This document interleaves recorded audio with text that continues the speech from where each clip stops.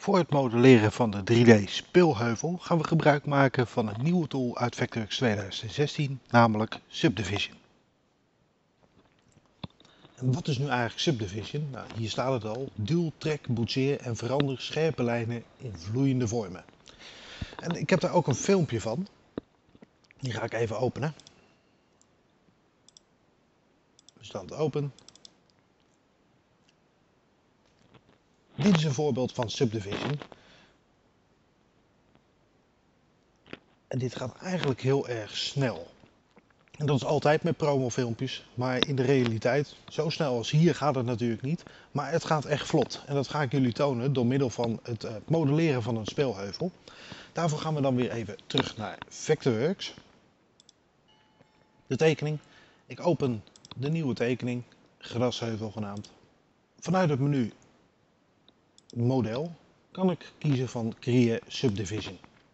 En een aantal opties. Ik kan kiezen voor een, een bol, een cilinder, een vierkant. Of als ik bijvoorbeeld een tent zou willen gaan bouwen, door middel van een cirkel. In dit geval begin ik met de bol. En de instellingen, of de maat, de grootte, is eigenlijk al goed. Ik klik op oké. En ik ga hem hier plaatsen. Ik ga even in perspectief kijken, want deze gaan we nu vervolgens bewerken. In het 3D-menu hebben we hier dan ook de optie bewerk subdivision. Misschien nog sneller. Dubbelklikken en je activeert dezelfde tool. In de methodebalk krijg je hier dan ook een aantal opties en we gaan met de eerste beginnen, transformeren. Ik selecteer hem. Ik kan dan ook een, een vlak aanklikken en deze ga ik door middel van het blauwe pijltje iets uitrekken. Doe ik hetzelfde met de andere kant. Nou, dit is ongeveer wel de vorm die, die ik wil hebben. Ik ga hem even in zijn zijaanzicht bekijken. We zien namelijk, stel dat, ik zal even een lijn trekken vanuit het middelpunt, dat mijn heuvel, je zult zien, ook naar beneden loopt. Dat is niet de bedoeling. Moet ik een kleine aanpassing nog gaan maken. Ik ga even terug naar het bewerk gedeelte en we gaan er zeg maar een platte pannenkoek van maken. Selecteer het bovenvlak en deze de blauwe lijn ga ik naar beneden brengen. Door een klein beetje in te zoomen maakt het mezelf iets makkelijker. Zo, nou is hij al wat platter. Nu is het nog een ronde vorm. Ik wil hem graag een klein stukje bewerken. Ik selecteer daarvoor de zijde.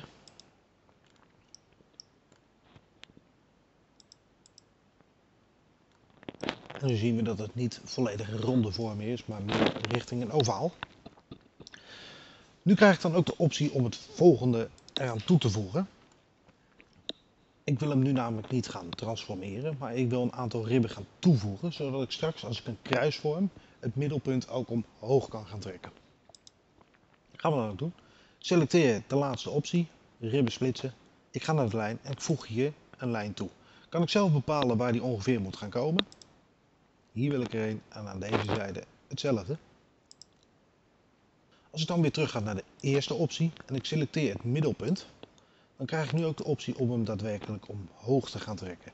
Nou, we zien al dat nu inderdaad het speeleiland zich gaat vormen. Eventueel zou je nog een aantal extra lijnen hier aan te kunnen toevoegen om je model nog wat verder te bewerken. Zodat hij wat meer uitloopt naar de hoeken.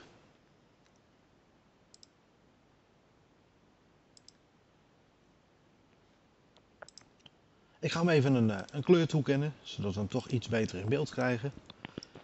Hier wil ik nog een, eh, een buis doorheen gaan tekenen. Daarvoor ga ik even naar het zijaanzicht. En ik selecteer vanuit de basisgereedschappen een cirkel.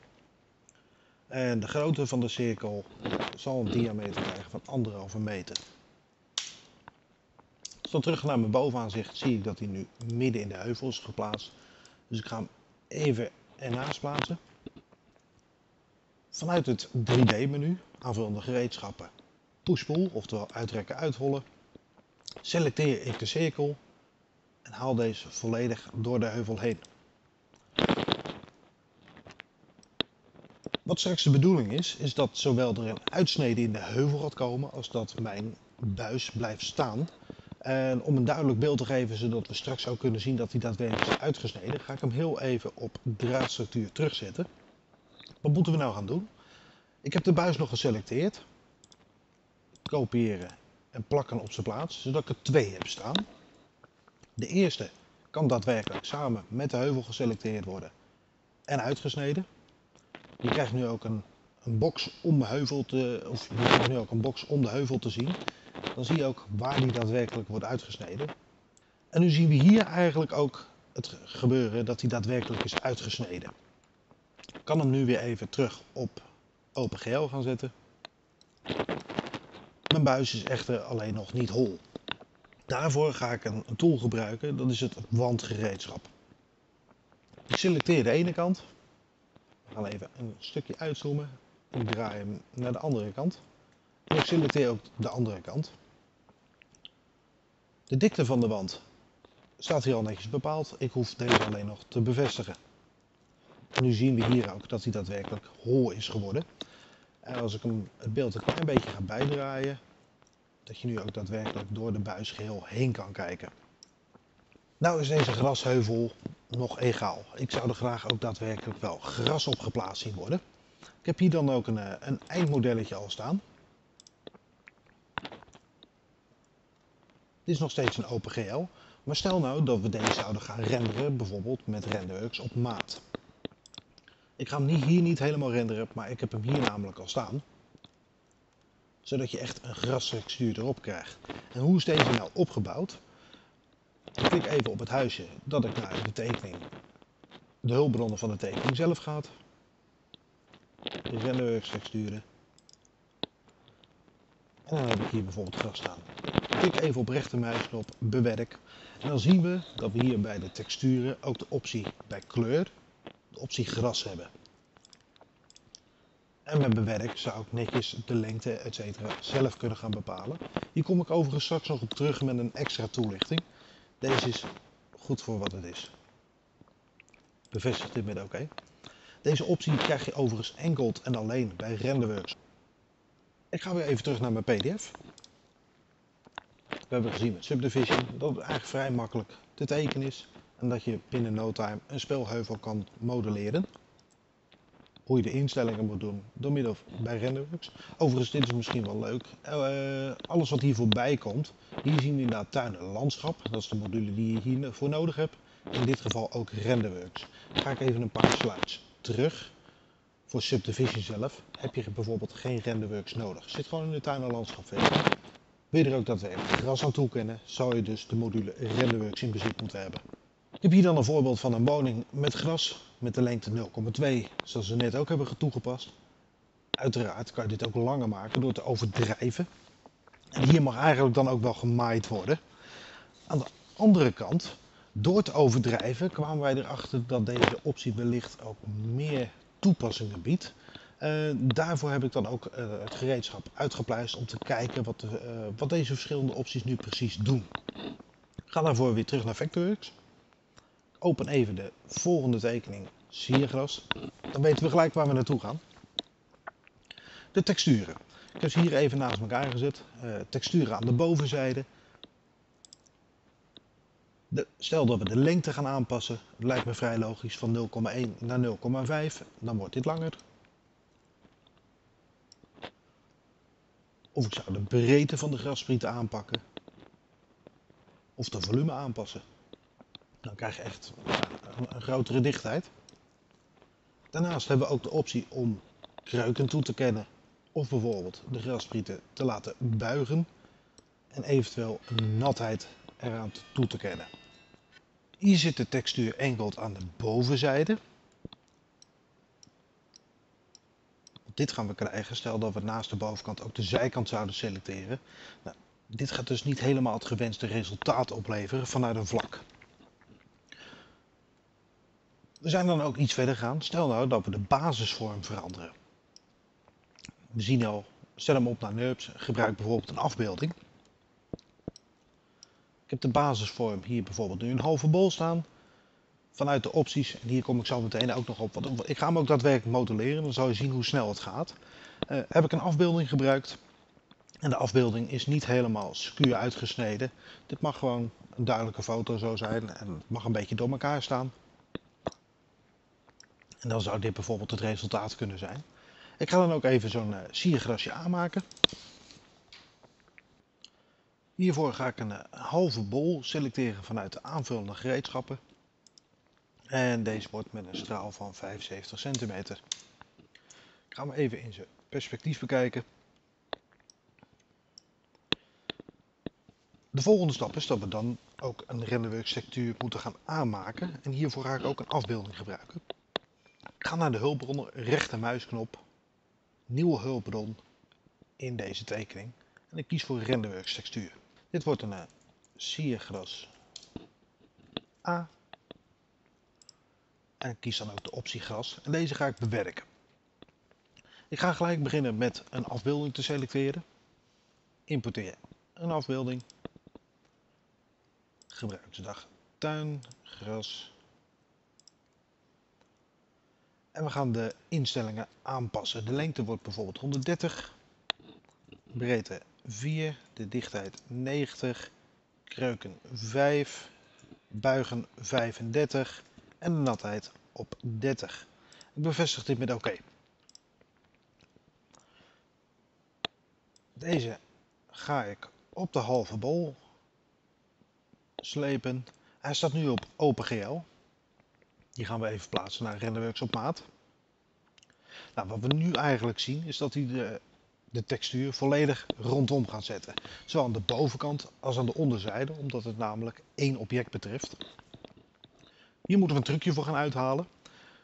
Dat is namelijk om beide, zowel de bovenzijde als de onderzijde, van aparte textuur te kunnen voorzien, zal ik deze moeten gaan omzetten, zet om, naar Nudups. Nu zie je nog niet heel veel gebeuren, maar als ik hem een klein beetje in zijn zijaanzicht ga plaatsen, dan lijkt het net op een atoombom. Omdat aan alle zijden nog steeds een textuur is toegekend. Ik ga hem even terugzetten naar OpenGL. Je ziet al, hij maakt er eigenlijk automatisch een groep van. En deze ga ik even degroeperen. Nu heb ik ook de optie om enkel de onderzijde te selecteren. We zien dit ook door de oranje lijn die eromheen staat. En in het informatiepalet zie ik ook dat hier ook de textuur is toegekend. Zou ik die terugzetten naar bijvoorbeeld geen, dan wordt die ook zonder textuur voorzien. We gaan toch weer even naar zijn zijaanzicht. Ik ga een klein stukje uitzoomen en we gaan hem opnieuw laten renderen. Als het goed is, moet ik nu een mooi siergrasje in beeld gaan krijgen. En ook vandaag is dat gelukkig weer gelukt. Ook voor hier geldt, wil je deze gaan toevoegen aan je hulpbronnen, zal ik er eerst een symbool van moeten maken. In het menu bewerk, creëer symbool. Dat gaat nu niet, omdat ik hem niet geselecteerd heb. Poging 2, creëer symbool, siergras B. Toevoegen aan de hulpbron van deze tekening. Als we dan nu even gaan kijken bij alle symbolen. Als het goed is moet hij dan zometeen, jawel, siergras B. Staat hier nu netjes in de hulpbron. Wil je deze natuurlijk weer toevoegen aan je favorieten. Rechtermuisknop, exporteer en plaats hem in de juiste map. En zien jullie waar ik nu eigenlijk een klein beetje naartoe wil? Want we zien het hier al met de muurstijlen, eh, raamdeur, siergrassen, maar ook verhardingen. Ik heb ze van tevoren aangemaakt. En waarom? De focus moet eigenlijk liggen op je ontwerp. En zodra het ontwerp met je eh, vlekkenplan eigenlijk af is, moet ik heel snel en heel makkelijk vanuit de hulpbronnen deze invulling gaan geven. En dat kan ook als je van tevoren een aantal symbolen en dus verhardingen, raamdeur, uh, muurstijlen hebt gedefinieerd. Dan kan je heel snel meters gaan maken. Ik ga weer even terug naar de PDF. We zien hier inderdaad een aantal instellingen die we kunnen gaan toepassen. Zoals inderdaad uh, het creëren van het gras, maar ook eventueel pluimen. Dat je dat door middel van een afbeelding zou kunnen doen voor een meer realistisch beeld. En hier heb ik er dan ook al een aantal staan, welke dan weer te downloaden zijn van het Service Select portaal website. als we dat in een breder perspectief gaan bekijken, heb ik hier bijvoorbeeld een, eh, een voorbeeld van Montbalieu, uh, de tuin aannemen van afgelopen jaar in België. En zo kan je toch een heel realistisch beeld gewoon netjes binnen vecteurs gaan creëren. Tot zover dan het aanmaken van uh, siergrassen en beplanting. Wil ik eigenlijk naar het volgende gedeelte. Oh, Ik sla nog een stukje over. Uiteindelijk kan je er bijvoorbeeld ook een CD-dak mee modelleren. En dit is overigens ook nog wel een tip. Hier krijg je niet automatisch een melding van, vanuit Vectorworks. Maar het laatste gedeelte, check af en toe de, de updaten van je bibliotheken. Mijn collega gaf mij laatst aan, ik wist dat zelf ook niet. Maar toen waren er ineens een aantal bibliotheken gewoon bijgewerkt. Uh, zonder dat je het weet krijg je dan beschikking over een uitgebreidere collectie. Of bijvoorbeeld, uh, mocht het nog niet voldoende zijn, heb je ook de mogelijkheid om vanaf AF Design te downloaden. Uh, of te downloaden. Zitten wel kosten aan verbonden, iets van 25 dollar. Maar voor het creëren van mooie hagen bijvoorbeeld, zou dit eventueel nog wel een toevoeging kunnen zijn. En uiteraard heb ik hem hier, zoals je ziet, ook in het einddocument bijgewerkt. Wat siergrassen aan de zijde geplaatst. En dan gaan we over naar het laatste gedeelte alweer. Een speeltoestel.